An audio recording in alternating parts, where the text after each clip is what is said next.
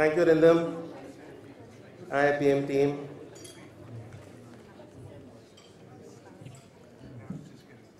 I was uh, sitting there wondering, it's all about giving, you know, since we came in. And did you call the right guy at the right time? I was wondering. But anyway, I'm right here.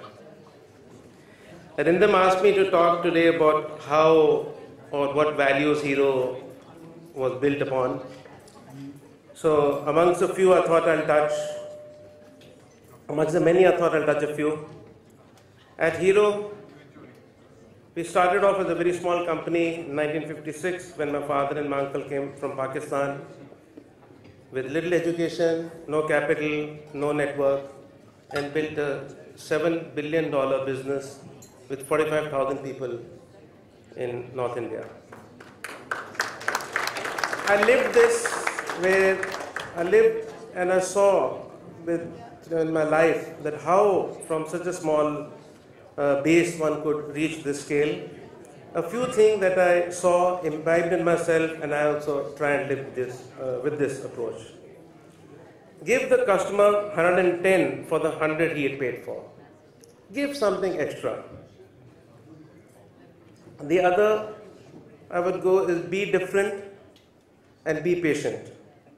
When it was the scooter market in India, Hero made a motorcycle.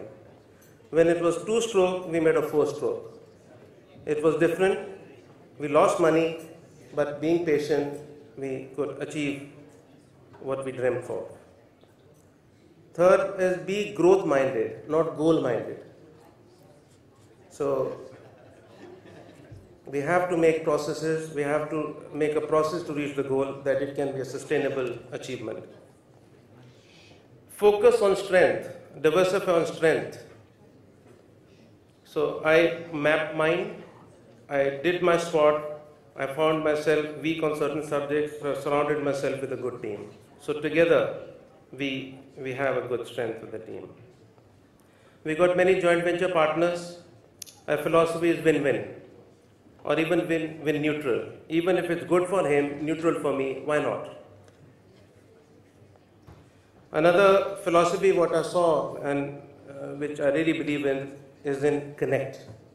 You have to make a call to your customer, employee, suppliers.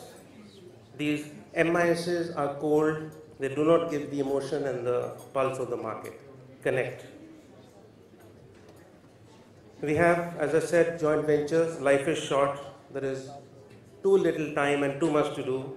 So why not look at synergy and save time and add value?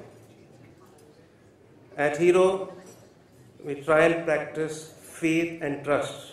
It's available to us only once. We try and keep it safe. And like I heard Arindam and others talk, when you do have tough times, when you do get failure, don't look down. Again, look at your goal and vision. That gives you power. And then enjoy the journey of life. Thank you very much.